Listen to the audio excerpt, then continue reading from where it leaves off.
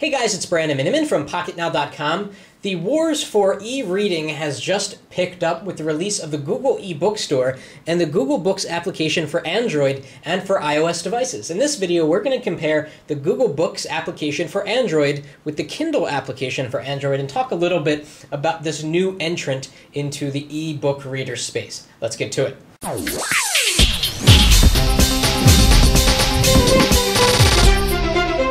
So right now you have a lot of choices if you want to download or buy a book uh, and read it on multiple devices. You have the Barnes & Noble Nook store. You can get an application for your smartphone. You can buy a Nook at the Barnes & Noble store or online, uh, among other things. The Kindle application store takes that to the next level. You can read it in web browsers. You can read it on Mac and PC. You can read it on pretty much any smartphone that is out there. Uh, and, and Google's aiming to take a similar approach, although they're opening it a little bit more. So not only can you read books that you buy through Google Books uh, in your web browser, on your Android phone or your iPhone, but you can also read your Google Books on the Sony e-reader and the Barnes & Noble Nook because of the formats that they can support. However, you cannot read Google Books on the Amazon Kindle. Uh, but although, as mentioned, the Amazon Kindle has pretty much all of their bases covered. If you buy a book, you can read it on really any device. So let's talk about the Books interface. And we're looking at this on the Samsung Galaxy Tab right now, but of course it'll look about the same on any Android phone. It's a free application, it's very simple, and here we have our library. And we can go into landscape from here. A nice simple and clean interface shows you the front covers of the books. It is preloaded with some titles like Alice in Wonderland, so let's uh, go into that and we'll see what it looks like to read a book.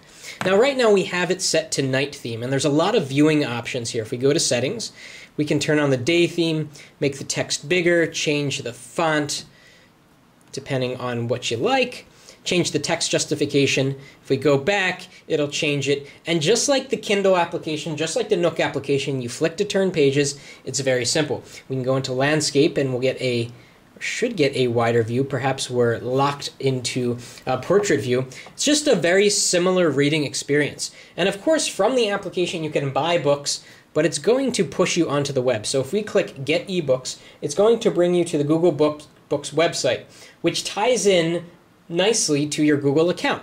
So we can scroll down here and see all of these books. Um, you can see the prices there and it will work through Google Checkout.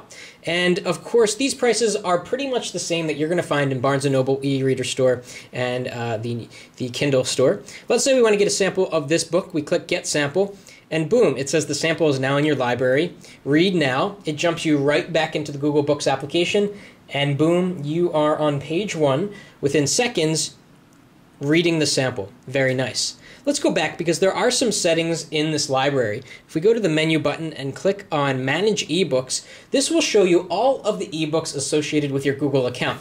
You can trash them from the cloud or you can actually buy them uh, within this screen. So very quickly you can say, oh, I've been reading these three books. Uh, two of them I want to buy and actually read instead of just look through the sample. Let's go back and see the other settings we can choose. So here's the uh, the books, the, the version location, where to store your books. You can actually store it on the SD card of your phone. And just like the Amazon Kindle application, you can have books that are stored in the cloud or archived as they're called in the Kindle application, and then books that are stored on your device for easy reading. Um, that is why if we go back to this screen, Manage eBooks, if I were to um, pin now I can read the book while I'm offline, so it's actually going to download it directly to my device within seconds. So a very robust reading experience. It's actually extremely similar to what you get on Kindle. So here in Kindle, if I go to archived items, this will show me all of the books that I've read that are hanging out in the cloud. And any of these books I can tap and they will download to my library and it says download selected items. It will sync the page um, that I, I, I, last read, just like the Google Bookstore was. So, very similar experiences. Now, what happens if we want to buy a book here? Now, that gets a little bit different. So, if we go down to the menu button, we go to Kindle Store, it's going to drop us into the Kindle interface, which doesn't always keep us logged in. It's a shame that there's no um, built in bookstore within the application. So, of course, from here, we can go to New York Times bestsellers we can click on a book. And again, these are about the same prices that you'll see. And we can try a sample.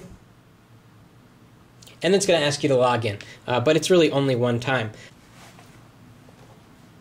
So, in terms of which of these applications is better, the Books application or the Kindle application, I'd say the Books application has better integration uh, with the cloud, which is better.